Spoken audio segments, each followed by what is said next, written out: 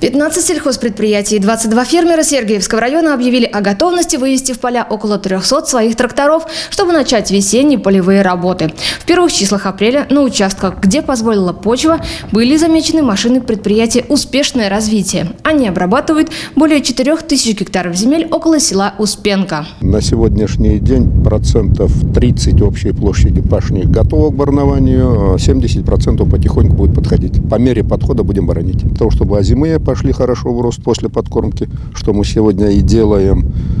Значит, ну и думаю, что для яровых тоже влаги хватит для начала.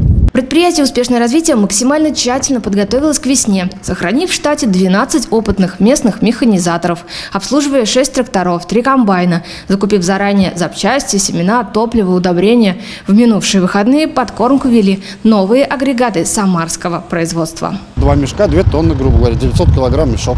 Насколько вам времени хватит на работу? Ну, минут 20 примерно. С какой скоростью аппарат ходит? Ну, примерно 23-24 километра.